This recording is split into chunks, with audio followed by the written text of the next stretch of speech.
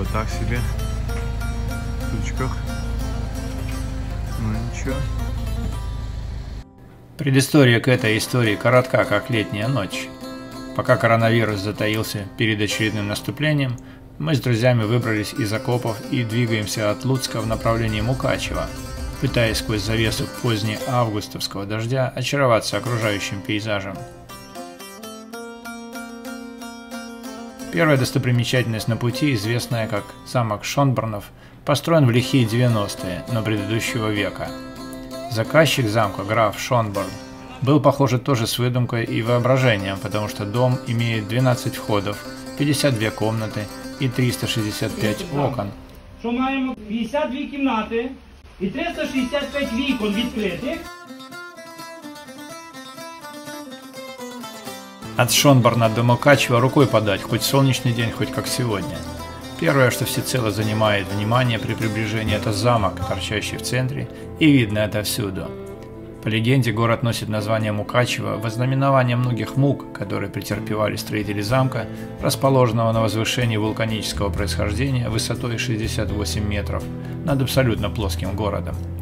Есть предание, что город был завоеван венграми аж в 896 году, то есть более тысячи лет назад.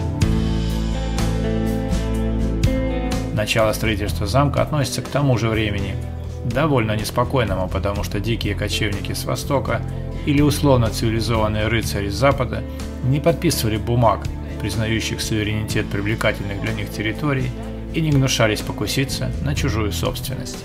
В этих условиях вполне естественным было, что это естественное возвышение, как дыня, торчащая из земли, являлось идеальным для устройства оборонного объекта, неприступность которого обескураживала и половцев, и других монголо-татар во главе с Батыем.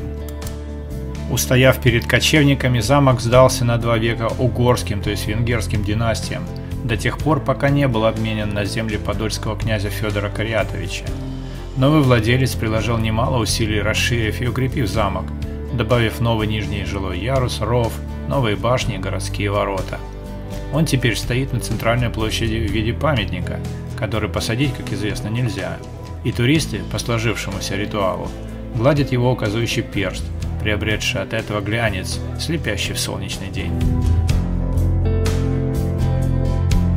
Тільки меча і він австріяки цим мечом поміг. Переміг ще багато-багато війська австрійського цим мечом він звідси погнав. І потім, де тільки можна було, венгри в подяку за це ставлять знак своєї присутності. Перший турул був з 8-метровим розмахом крил. значить, прийшла К сегодняшнему дню замок имеет три уровня, из которых самый нижний – самый новый. В его внутренностях проложены многочисленные подземные переходы, а во дворе верхнего замка до сих пор сохранился колодец, построенный при Корятовиче. Глубина его 75 метров, то есть дно находится ниже уровня окружающей холм местности. Каким образом в горной породе можно было пробурить шахту диаметром в 2,5 метра, моему техническому воображению недоступно, но известно, что вода из него поднималась вплоть до 1897 года.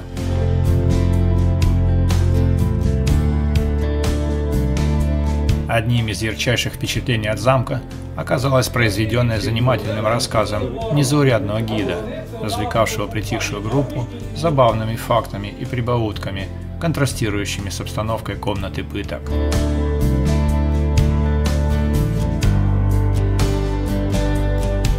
Замок заслужил славу своей стойкостью в отражении нападений и осад, случившихся в разные последующие эпохи, а во времена наполеоновского нашествия в нем хранилась корона Венгерской империи.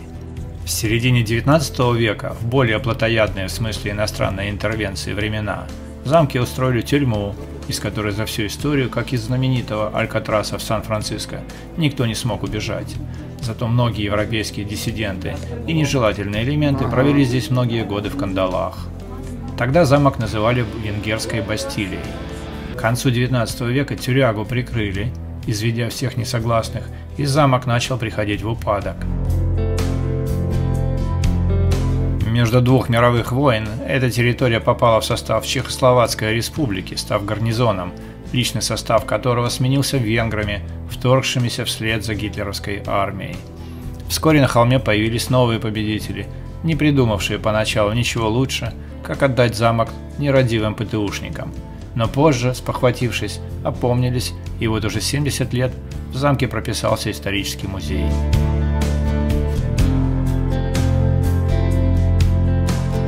Замок повсеместно известен под именем Паланок, происходящему от итальянского, и означает частокол, укрепление и укрепленное поселение.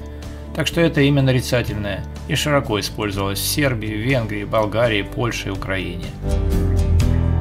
Часть города у подножия замка к древности имеет лишь условное отношение по понятным причинам.